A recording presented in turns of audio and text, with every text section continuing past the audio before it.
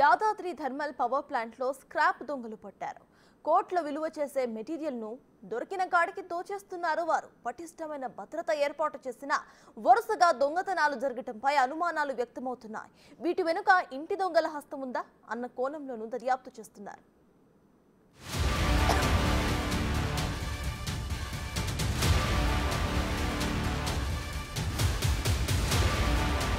Yadadri thermal power ప్లాంట్లో scrap దొంగలు.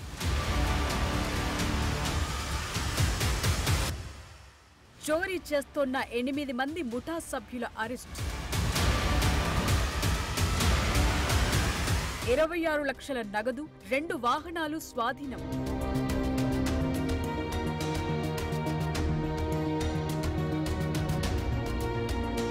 Yadadri thermal ప్లాంట్లో అసలేం జరుగుతోంది?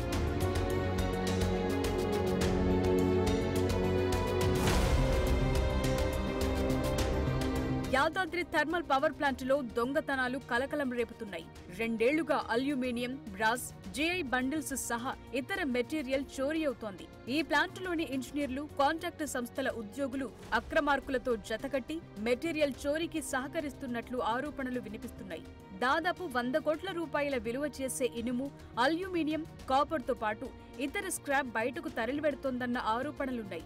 మెటీరియల్ చోరీపై బీహెచ్ఈఎల్ సంస్థ ప్రతినిధులు పోలీసులకు ఫిర్యాదు చేశారు. కాగా ఇప్పటికే ఓ ముఠాను అరెస్టు చేసిన పోలీసులు వారి నుంచి డెబ్బై ఒక్క లక్షల మెటీరియల్ ఇరవై లక్షల విలువైన కార్లు ఒకటి పాయింట్ నాలుగు తొమ్మిది కోట్ల సొత్తును స్వాధీనం చేసుకున్నారు. తాజాగా ఈ కేసులో మరో ముఠాను అదుపులోకి తీసుకున్నారు. స్క్రాప్ చోరీకి పాల్పడుతున్న ఎనిమిది మంది ముఠా సభ్యులను అరెస్టు చేశారు. వారి నుంచి ఇరవై ఆరు లక్షల నగదు రెండు వాహనాలను స్వాధీనం చేసుకున్నారు. అయితే దీంట్లో మనం ఇప్పుడు దాకా ట్వంటీ సిక్స్ ల్యాక్స్ వరకు క్యాష్ రికవర్ uh, చేయడం జరిగింది. అది GR produce today police submit చేస్తాము. అదేవిధంగా రెండు మహీంద్రా క్యాంపర్ వెహికల్స్ కూడా మనం రికవర్ చేయడం జరిగింది. దీనికి సంబంధించి ఆల్రెడీ మనకి వాడపల్లిలో ఒకటి త్రీ సెవెంటీ నైన్ బిహెచ్ఏ వాళ్ళు ఇచ్చిన కంప్లైంట్ మీద ఒక కేసు ఆల్రెడీ ఒకటి ఉన్నది. నిన్న మనము మళ్ళీ మీడియాలు కూడా టూ థౌసండ్ పట్టుకున్నప్పుడు we have registered one three not three three seventeen BNS కింద కేసు పట్టుకున్నాము. ఇంకోటి మిర్యాలు కూడా వన్ టౌన్లో కూడా త్రీ సెవెంటీ నైన్ కేసులో ముందు ఒకసారి రిలయన్స్కి సంబంధించిన పోల్స్ అన్ని కూడా దొంగతనం అయితే ఆ దొంగతనాలు కూడా మనం దొంగతనం అయ్యి అది మళ్ళీ స్క్రాప్ సామాన్లు ఉంటే మేకల సిమ్ కొనడం జరిగింది. ఆ కేసులో కూడా కన్ఫెషన్ అయింది. మొత్తంగా ప్లాంట్ నుంచి ఇప్పటికే ఆరు కోట్ల విలువైన మెటీరియల్ మాయమైనట్లు పోలీసులు గుర్తించారు. అనధికారికంగా అపహరణకు గురైన మెటీరియల్ విలువ ఇరవై కోట్ల నుంచి ముప్పై కోట్లకు పైగానే ఉంటుందని స్థానికులు చెప్తున్నారు.